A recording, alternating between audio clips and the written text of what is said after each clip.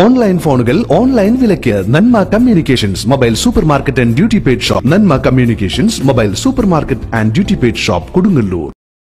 തന്റെ എഴുപത്തിയേഴാം വയസ്സിലും സിനിമാ മോഹവുമായി ജീവിക്കുന്ന ജോസ് മുനമ്പത്തിന് അഭിനയം ജീവവായു പോലെയാണ്.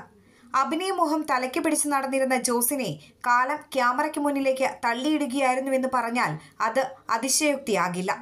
തന്റെ നാടായ മുനമ്പത്ത് നടന്ന ഷൂട്ടിങ്ങിനിടയിൽ നാട്ടുകാരിൽ ചിലർ ജോസിനെ കളിയാക്കാനായി സംവിധായകന്റെ മുന്നിലേക്ക് തള്ളിയിടുകയായിരുന്നു. അത് ഞാൻ ചെറുപ്പം മുതൽ പന്ത്രണ്ട് വയസ്സ് മുതൽ നാടകങ്ങളിൽ അഭിനയിച്ചു. അങ്ങനെ നാടകങ്ങളിൽ അഭിനയിച്ച് അഭിനയിച്ച് അഭിനയിച്ച് ഞാനിങ്ങനെ ഒരു ഷൂട്ടിങ്ങും നാട്ടിലൊരു ഷൂട്ടിംഗ് ഉണ്ടായിരുന്നു. അപ്പം പരിഹാസികളായ നാട്ടുകാർ ആ സംവിധായകന്റെ അടുത്തേക്ക് ക്യാമറ മാനുകൊണ്ട് സംവിധായകൻ അങ്ങോട്ട് കടപ്പുറം സീനൊക്കെ ആയിരുന്നു. അതാണ് ഉന്തിയിട്ട്. അപ്പോൾ അവർ ചോദിച്ചു എന്താണ് ഈ പാവത്തിനെ ഉപദ്രവിക്കുന്നത് പാവമല്ല സാറേ ഇവന് ഇവിടുത്തെ വലിയ നടനാണെന്നൊക്കെ പറഞ്ഞ് അവർ കളിയാക്കിയത്. നാടകത്തിലേക്ക് വലിയ നടനാണ്. ഒരു ചാൻസ് ഒക്കെ കൊടുക്കുന്നു പറഞ്ഞു. പക്ഷേ അവർക്ക് യഥാർത്ഥത്തിൽ ആ സമയത്ത് ഒരാളെ ആവശ്യമായിരുന്നു അങ്ങനെ ആ നടൻ വരാത്തത് കൊണ്ട് എന്നെ അവരെടുത്ത് അങ്ങനെയാണ് ഞാൻ ആദ്യമായിട്ട് സിനിമയിലേക്ക് സിനിമ. അത് ഒരു ഫിലിം ഡെവലപ്മെന്റ് കോർപ്പറേഷന്റെ അന്ന് വലിയ തുക മുടക്കിയതാണ്. ഈ ചകിരിയെ പറ്റിയുള്ള ഒരു ഇതായിരുന്നു. ചക്രം എന്നായിരുന്നു അന്ന് എന്റെ പേര്. പിന്നീട് ചക്രം എന്ന് പറഞ്ഞ സിനിമ ഇറങ്ങി. അതല്ല ചക്രം എന്ന് പറഞ്ഞ ഇറങ്ങി. അത് അക്കാലത്ത് അത് ബിഗ് ബഡ്ജറ്റായിരുന്നു നല്ല കഥാതന്തുമായിട്ടുള്ളത് അതിനകത്തൊരു സുകുമാരൻ എന്ന ഒരു റോളായിരുന്നു തൃപ്രയാർ സുകുമാരൻ ഫിലിം ഡെവലപ്മെന്റ് കോർപ്പറേഷന് വേണ്ടി സംവിധാനം ചെയ്ത ചക്രം എന്ന സിനിമയുടെ ഷൂട്ടിംഗ് ആയിരുന്നു അത്. നാട്ടുകാരെ ഞെട്ടിച്ചുകൊണ്ട് സംവിധായകൻ ആ സിനിമയിൽ ഒരു വേഷം നൽകിയതോടെ ജോസ് സിനിമാ നടനായി. ഒൻപതാം ക്ലാസ് വരെ പഠിച്ച ജോസ് അച്ഛന്റെ മരണത്തെ തുടർന്ന് പഠനം നിർത്തുകയായിരുന്നു. നാടകങ്ങളിൽ പെൺവേഷം കെട്ടാൻ ആളില്ലാതിരുന്ന അക്കാലത്ത് തന്റെ പന്ത്രണ്ടാം വയസ്സിൽ പറവൂർ ജോർജിന്റെ നേർച്ചക്കോഴി എന്ന നാടകത്തിൽ കത്രീൻ ചേടത്തി എന്ന കഥാപാത്രം ചെയ്തുകൊണ്ട് ജോസ് നാടകത്തിൽ അരങ്ങേറ്റം കുറിച്ചു. പിന്നീട് നിരവധി നാടകങ്ങളിൽ വേഷമിട്ടു.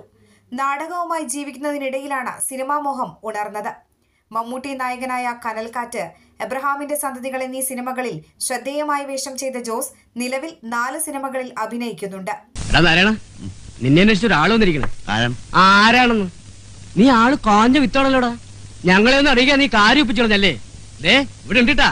ഞാൻ എന്ത് തെറ്റ് ചെയ്തിട്ടാ? കരയില്ലെന്ന്. എന്ത് പ്രശ്നമായാലും നമുക്ക് സമാധാനം ഉണ്ടാക്കാലോ. എന്ത് കഷ്ടാടാ നീ കാണിക്കണേ? കെട്ടി പെണ്ണിനെ ആരെങ്കിലും കരയിപ്പിക്കുവോ? അതിന് ഞാനങ്ങനെ ശരിക്കും കെട്ടിട്ടൊന്നുമില്ല അന്ന് രാത്രി ഞങ്ങൾ ഒരുമിച്ച് ഒരു വീട്ടിൽ കഴിയുകയും ചെയ്തു. നേരാണോടാ ഇവിടെ ഈ പറയണത്? പീഡിപ്പിച്ചു പരമദ്രോഹി. എന്റെ സാറെ ഇന്നലെ ഉച്ചയ്ക്ക് ഞാൻ പാരീസ് ഹോട്ടലിന് മുമ്പിൽ വന്നിരുന്നു. സാറിനെ കണ്ടില്ല. അത് നീ വല്ല സ്കൂൾ മാഷ്മാരോട് പറഞ്ഞാൽ മതി. അവർ വിശ്വസിക്കും. പോലീസുകാർ തലച്ചോറുള്ളവരാ. ഉച്ചയ്ക്ക് പന്ത്രണ്ട് മണി മുതൽ ഉച്ച തിരിഞ്ഞ് മൂന്ന് മണി വരെ ഞാൻ പാരീസ് ഹോട്ടലിന് മുമ്പിൽ കാത്തുന്നതാ. തീ പാറുന്ന വെയിലത്ത്. പറയുമ്പോ എനിക്ക് വേദനയുണ്ടടാ. ഡേ ഇന്ന് പ്രായച്ചിത്തം ചെയ്യാതെ നിന്ന് ഇവിടുന്ന് വിടുന്ന പ്രശ്നമില്ല. ഇന്ന് എനിക്ക് ബിരിയാണി മാത്രം പോരാ. വീട്ടിലേക്ക് ഒരു പാർസൽ വേണം. നടക്കണ പാരീസ്.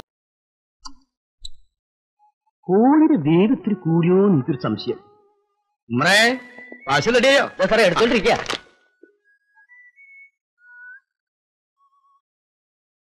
എല്ലാം കൂടി എത്രയായി? മുപ്പത്തി റുപ്യ. ഇവനൊന്നും ഒരു കാലത്തും ഗുണം പിടിക്കൂല. ആരെ ഗുണം പിടിക്കാത്തല്ല ഈ ബിരിയാണിയുടെ ഗുണം സാറിന് എത്ര പിടിച്ചില്ല എന്ന് പറയായിരുന്നു. അതെ അതെ. വേഷം എത്ര ചെറുതാണെങ്കിലും അത് തന്മയത്വത്തോടെ അവതരിപ്പിക്കാൻ ഈ നടൻ ആത്മാർത്ഥമായി ശ്രമിക്കാറുണ്ട്. Sathyan Prem Nazir K P Ummer Govindankutty Kottarakkara Sharada T R Omana തുടങ്ങിയ പഴയകാല താരങ്ങളെ അതിഭാവുകത്വമില്ലാതെ അനുകരിക്കുന്ന ജോസ് ടെലിവിഷൻ ഷോകളിലും സീരിയലുകളിലും സാന്നിധ്യം അറിയിച്ചിട്ടുണ്ട്. തൊമ്മച്ചേട്ടൻ മെത്രാനായി എന്ന കഥയും കടൽമുത്ത് എന്ന നോവലും ഇദ്ദേഹം എഴുതിയിട്ടുണ്ട്. സിനിമ സ്വപ്നവും ജീവിതം യാഥാർത്ഥ്യവുമായതിനാൽ വരുമാനമാർഗം എന്ന നിലയിൽ ചെറുകിട കച്ചവടങ്ങളുമായി മുന്നോട്ടു പോവുകയാണ് ജോസ്. അപ്പോഴും പോക്കറ്റിലുള്ള മൊബൈൽ ഫോണിൽ പുതിയ അവസരവുമായി വീണ്ടും ഒരു വിളി വരുമെന്ന പ്രതീക്ഷയിലാണ് ഈ താരം.